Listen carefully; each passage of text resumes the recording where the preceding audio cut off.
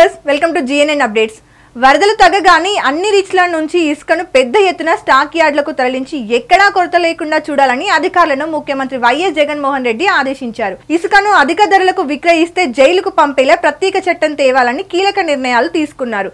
ఈలోగా దీనిపై ఆర్డినెన్స్ తీసుకురావాలని భావిస్తున్నారు. ఈ ఆర్డినెన్స్ను సాధ్యమైనంత తొందరగా రూపొందించాలని అధికారులను సీఎం జగన్ ఆదేశించారు. జిల్లాలు నియోజకవర్గాల వారీగా ఇసుక ధరలను నిర్ణయించాలని కలెక్టర్లు అధికారులను సీఎం జగన్ ఆదేశించారు. ఇసుక మాఫియా అక్రమ రవాణాకు కళ్ళెం వేయాలని స్పష్టం చేశారు. ఇసుక ధరలను నిర్ణయించిన తర్వాత ఖచ్చితంగా అదే ధరలకు అమ్మాలని అధిక ధరలను అమ్మే వాళ్ళని జైలుకు పంపించే చర్యలు తీసుకోవాలని సీఎం జగన్ అధికారులకు చెప్పినట్లు తెలుస్తోంది. దీంతో పాటు ఇసుక ధరలపై ఒక ట్రోల్ ఫీ నంబర్ను పెట్టాలని సీఎం జగన్ తెలిపారు. వచ్చే వారం స్పందన నాటికి ఈ రేట్లు ట్రోల్ ఫీ నెంబర్ ప్రకటించాలని సీఎం జగన్ సూచించారు. వచ్చే వారం స్పందన కేవలం ఇసుక సమస్యపైనే నిర్వహిస్తామని అన్నారు. స్పందనలో ఇసుక వారోత్సవం తేదీలో ప్రకటిస్తామని తెలిపారు.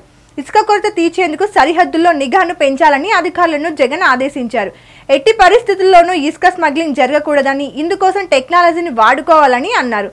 చెక్ పోస్టుల్లో ఇందుకోసం టీంలను పెంచాలని మొబైల్ టీంలను పెంచుతామన్న అధికారులు సీఎంకు తెలిపారు. చెక్ పోస్టుల వద్ద సిబ్బంది ఉండేందుకు వీలుగా కనీస సదుపాయాలు ఇవ్వాలని సీఎం జగన్ అధికారులను ఆదేశించారు.